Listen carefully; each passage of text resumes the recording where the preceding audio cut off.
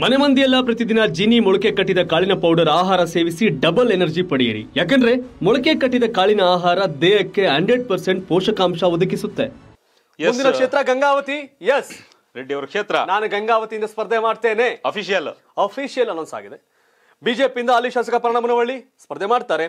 ಕಾಂಗ್ರೆಸ್ ಇಂದ ಇಕ್ಬಾಲ್ ಅನ್ಸಾರಿ ಹಾಗೆ ಶ್ರೀನಾಥ್ ಶಿವರಾಮೇಗೌಡ ಮಲ್ಲಿಕಾರ್ಜುನ ನಾಗಪ್ಪ ಟ್ರೈ ಮಾಡ್ತಾ ಇದ್ದಾರೆ. ಟಿಕೆಟ್ ಅಂತ ಇಕ್ಬಾಲ್ ಅನ್ಸಾರಿ ಬಹುತೇಕ ಕನ್ಫರ್ಮ್ ಬಿಜೆಪಿಯಿಂದ ಪ್ರಣಮನವಳ್ಳಿ ಹಾಗೆ J D S ಪಾಡಗುತ್ತಿ Akhtar Saab Janardhan Reddy K S P P K S P ಇಂದ ಇಲ್ಲಿ ಸ್ಪರ್ಧೆ ಮಾಡ್ತಾ ಇದ್ದಾರೆ.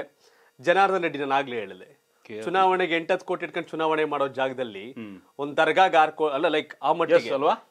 ಇದು. ಶಾಕ್ ಆಯ್ತು ಎಲ್ಲರಿಗೂ ಆರು. ಕೋಟಿ ಕೊಟ್ರು. ಅಂದ್ರೆ ಮತ್ತೆ ಹಳೆ ಬಳ್ಳಾರಿ ರಾಜಕಾರಣದ ಕದರ್ ಗಂಗಾವತಿ ಇದೆ. ಕೊಪ್ಪಳ ಜಿಲ್ಲೆಯಲ್ಲಿ ಪೂರ. ಹಾಗಾಗಿ ಇಲ್ಲಿ ಏನು? ಇದು ಓಪನ್ ರಿಪೋರ್ಟ್ ಜನಾರ್ದನ್ ರೆಡ್ಡಿ ಬಂದ್ರೆ ಮುನ್ನಡೆ ಮುನ್ನಡೆ ಸಾಧಿಸ್ತಾರೆ ಜನಾರ್ದನ್ ರೆಡ್ಡಿ ನಿಂತ್ಕೊಂಡ್ರೆ ಗೆಲ್ತಾರೆ. ಎಲ್ಲಿ ಯಾರು ಕೇಳ್ರಿ ನಮ್ಗಿದೆ ಜನಾರ್ದನ್ ರೆಡ್ಡಿಗೂ ಗಂಗಾವತಿ ಹೆಂಗೆ ಸಂಬಂಧ ಅಂತ? ಗ್ರೌಂಡ್ ನಾವು ಆಗ್ಲೇ ಹೇಳಿದ್ವಲ್ಲ ಏನು ಕಳೆದ ಹದಿನೈದು ಇಪ್ಪತ್ತು ದಿನದಿಂದ ಕೂಡ ಈ ಬಗ್ಗೆ ನಾವು ಚರ್ಚೆ ಮಾಡ್ತಾ ರಿಪೋರ್ಟ್ ಇದು ಮಾಡ್ತಾ ಕಾರಣ. ಜನಾರ್ದನ್ ರೆಡ್ಡಿ ಸ್ಪರ್ಧೆ ಮಾಡಿದ್ರೆ ಮುನ್ನಡೆಗೆ ಅಂತ ಇತ್ತು. ಜನಾರ್ದನ್ ರೆಡ್ಡಿ ಸ್ಪರ್ಧೆ ಮಾಡ್ತೀನಿ ಅಂತ ಘೋಷಣೆ ಮಾಡಿದರೆ ಅದು ಗಂಗಾವತಿಯಿಂದಲೇ ಸ್ಪರ್ಧೆ ಮಾಡ್ತೀನಿ ಅಂತ. ಗಂಗಾವತಿಯಲ್ಲೂ ಸಹ ಜನಾರ್ದನ್ ರೆಡ್ಡಿ ಪಾರ್ಟಿ ಮುನ್ನಡೆನ ಕಾಯ್ದುಕೊಂಡಿದೆ ಕಾಯ್ಕೊಂಡಿದೆ. ಜನಾರ್ದನ್ ರೆಡ್ಡಿ ಮುನ್ನಡೆನ ಕಾಯ್ದುಕೊಂಡಿದ್ದಾರೆ. ಎಸ್ ನಿಮ್ ಪ್ರಶ್ನೆ ಎಸ್ ನಾನು ಇದೆಲ್ಲ ಮುಗಿದ್ಮೇಲೆ ಕೇಳಬೇಕು ಅನ್ಕೊಂಡಿದ್ದೆ ಪೂರ್ತಿ ಕೊಪ್ಪಳದ ಮುಗಿಸೋಣ ಅಂತ. ಓಕೆ ಮುಂದೆ ಹೋಗ್ಬಿಡೋಣ. ಎಲ್ಬುರ್ಗ ಹೋಗೋಣ ಬನ್ನಿ ಹಾಗಾದ್ರೆ. ತುಂಬಾ ಜನ ತುಂಬಾ ಜನಕ್ಕೆ ಡೌಟ್ ಇದೆ. ಮುಂದುವರ್ಸ್ಬಿಟ್ಟು ಹೋಗೋಣ. ಎರಡ್ ಸಾವಿರದ ಹದಿಮೂರರಲ್ಲಿ ಯಡಿಯೂರಪ್ಪ ಪಕ್ಷ ಮಾಡಿದ್ರು ಬಿ ಎಸ್ ಆರ್ ಪಕ್ಷ ಮಾಡಿದ್ರು. ಸೊ ಅವಾಗ ಎಷ್ಟು ಓಟ್ ತಗೊಂಡ್ರು ಎಷ್ಟು ಓಟ್ಸ್ ಎಷ್ಟು ತಗೊಂಡ್ರು ಎಷ್ಟು ಸೀಟ್ ತಗೊಂಡ್ರು ಎಷ್ಟು ಪರ್ಸೆಂಟೇಜ್ ತಗೊಂಡ್ರು.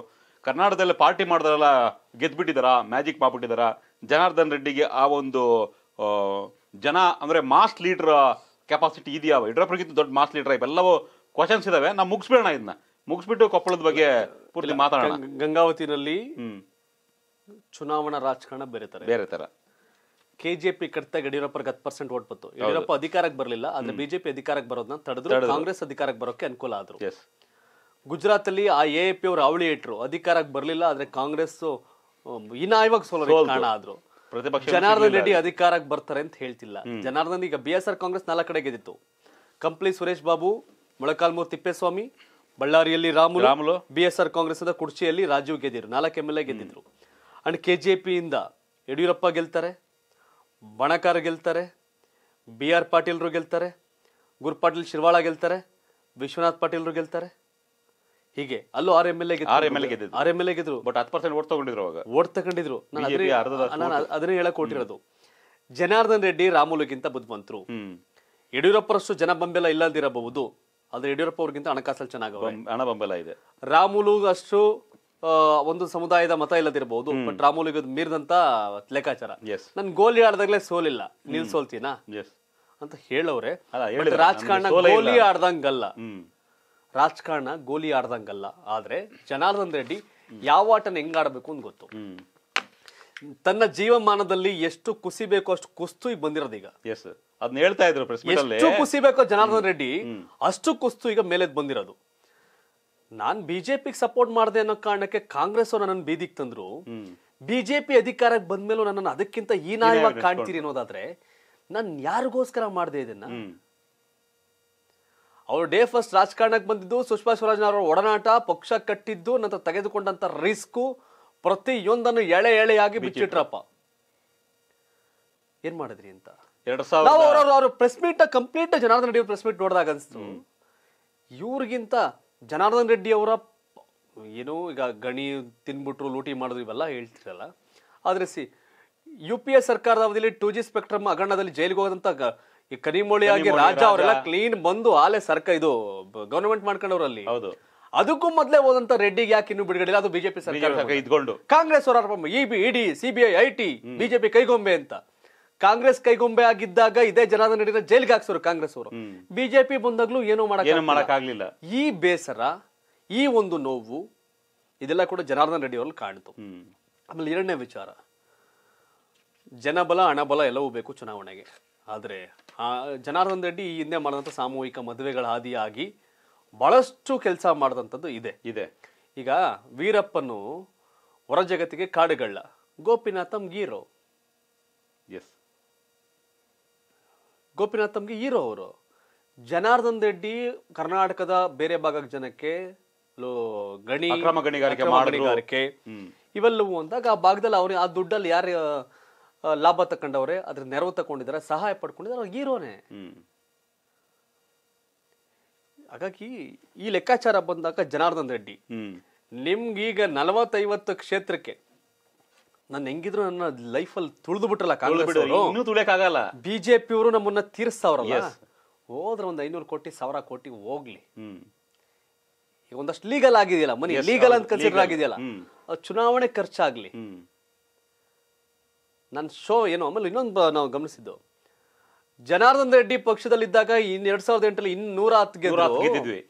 ದಿ ಗ್ರೇಟ್ ನರೇಂದ್ರ ಮೋದಿ ಅಮಿತ್ ಶಾ ಇದ್ದಾಗ ಗೆದ್ದಿದ್ ನೂರ ನಾಲ್ಕು. ನಾಲ್ಕು ಆ ಯಡಿಯೂರಪ್ಪ ಅವ್ರಿಗೂ ಅವಕಾಶ ಮಾಡಲಿಲ್ಲ. ತನ್ನ ಮಗನ ಚುನಾವಣೆ ನಿಲ್ತಾನೆ ಅಂತ ಘೋಷಣೆ ಮಾಡಬೇಕು ಬಾಯಲ್ಲೇ ಮಗ ನಿಲ್ಲಲ್ಲ ಅಂತ ಹೇಳಿಸಿದ್ರು. ಅಷ್ಟೇ ಹಿಂಸೆ ಕೊಟ್ಟರು ಬಿಜೆಪಿ ಅವರು.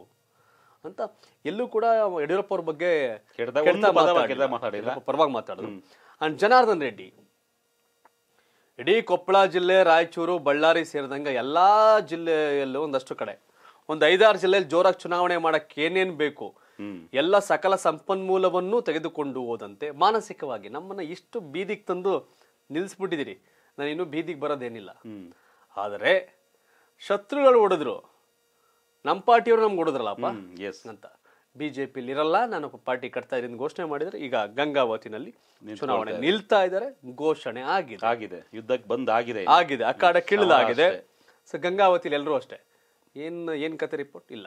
ರೆಡ್ಡಿ ಗೆಲ್ತಾರೆ. ಗಂಗಾವತಿಲಿ ಇವಾಗ ಕರ್ನಾಟಕ ಟಿವಿಯ ಡಿಸೆಂಬರ್ನ ಇಪ್ಪತ್ತಾರನೇ ತಾರೀಕು ಸರ್ವೆ. ಎಸ್ ಇಪ್ಪತ್ತಾರನೇ ತಾರೀಕು ಸರ್ವೆ ನಾನು ಹೇಳ್ತಾ ಇರೋದು ನಿಮ್ಗೆ.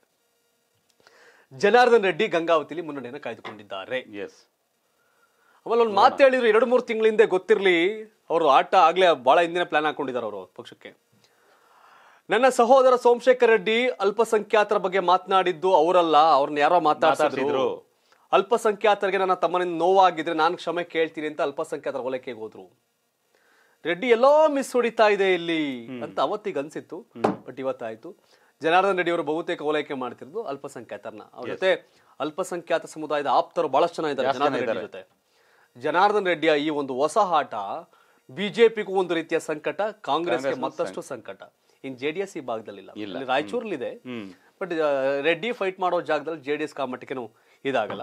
ಬಟ್ ಗಂಗಾವತಿಲಿ ಜನಾರ್ದನ ರೆಡ್ಡಿ ಮುನ್ನಡೆಯನ್ನ ಕಾಯ್ದುಕೊಂಡಿದ್ದಾರೆ. ಕೊಂಡಿದ್ದಾರೆ ಬಹಳ ವರ್ಷಗಳ ಕಾಲ ಇಕ್ಬಾಲ್ ಅನ್ಸಾರಿ ರಾಜಕಾರಣ ನೋಡಿದ್ರೆ ಪ್ರವಣ ಮುಳವಳ್ಳಿಯವರು ಅಳವಡಿಸಿದ್ದಾರೆ ಈಗ ಜನಾರ್ದನ್ ರೆಡ್ಡಿ ಅವರ ಸಂಬಂಧಪಟ್ಟಂತ ಅಲೆ ಎಸ್ ಅಲೆ ಅಂದ್ರೆ ಸುಮ್ಮನೆ ರೆಡ್ಡಿ ಅಂದ ತಕ್ಷಣ ಅಲ್ಲ ಒಂದು ಕತ್ತು ಪಟ್ಟು ಆಟ ಆಡ್ತೀನೋ ನಾನು ರೆಡಿ ಆಗಿದ್ದೀನಿ Confidence ಅಷ್ಟೇ ಅಲ್ಲಿ ಮುಲಾಜಿಲ್ಲ ಜನಾರ್ದನ್ ರೆಡ್ಡಿ ಬಂದಿದ್ದಾರೆ. ಗಂಗಾವತಿಲಿ ಜನಾರ್ದನ್ ರೆಡ್ಡಿ ಮುನ್ನಡೆಯನ್ನ ಕಾಯ್ದುಕೊಂಡಿದ್ದಾರೆ. ಆರು ತಿಂಗಳು ನಂತರ ಮಕ್ಕಳಿಗೆ ಯಾವ ಆಹಾರ ಕೊಡಬೇಕು ಅಂತ ತುಂಬಾ ಯೋಚನೆ ಮಾಡ್ತಿದ್ದೀರಾ? ಹಾಗಾದ್ರೆ ಮಕ್ಕಳಿಗೆ ಮೊಳಕೆ ಕಟ್ಟಿದ ಧಾನ್ಯದಿಂದ ತಯಾರಾದ ಸರಿ ಹಿಟ್ಟು ಕೊಟ್ರೆ ನಿಮ್ಮ ಮಕ್ಕಳು ದಷ್ಟಪುಷ್ಟವಾಗಿ ಬೆಳಿತಾರೆ ಆರೋಗ್ಯವಾಗಿರ್ತಾರೆ ಸದಾ ನಗನಾಗ್ತಾ ನೆಮ್ಮದಿಯಾಗಿ ನಿದ್ದೆ ಮಾಡ್ತಾರೆ. ತಾಯಿ ಎದೆ ಹಾಲಿನ ಜೊತೆ ನಮ್ಮ ಜೀನಿ ಮೊಳಕೆ ಕಟ್ಟಿದ ಸರಿ ಇಟ್ಕೊಡಿ. ಮಕ್ಕಳಿಗೆ ಹಂಡ್ರೆಡ್ ಪರ್ಸೆಂಟ್ ಸರಿಯಾದ ಆಹಾರ ಅಂದ್ರೆ ಜೀನಿ ಸರಿ ಇಟ್ಟು ಮಾತ್ರ. ಎಲ್ಲಾ ಮೆಡಿಕಲ್ ಶಾಪ್ಗಳಲ್ಲಿ ಜೀನಿ ಸರಿ ಇಟ್ಟು ಲಭ್ಯ. ಅರ್ಧ ಕೆಜಿ ಚಿಕನ್, ಅರ್ಧ ಕೆಜಿ ನಾರ್ಕ್ ಚಟ್ಟಿನಾಡು ಬಿರಿಯಾನಿ ರೈಸ್ ಮಸಾಲ ಇದ್ರೆ ಇಪ್ಪತ್ತು ನಿಮಿಷದಲ್ಲಿ ಸೂಪರ್ ಆದ ಬಿರಿಯಾನಿ ರೆಡಿ ಆಗುತ್ತೆ. ಈ ಕೂಡಲೇ ಕಾಲ್ ಮಾಡಿ ನಾರ್ಕ್ ಚಟ್ಟಿನಾಡು ಬಿರಿಯಾನಿ ರೈಸ್ ಮಸಾಲ ಮನೆ ಬಾಗಿಲಿಗೆ ಡೆಲಿವರಿ ಕೊಡ್ತಾರೆ.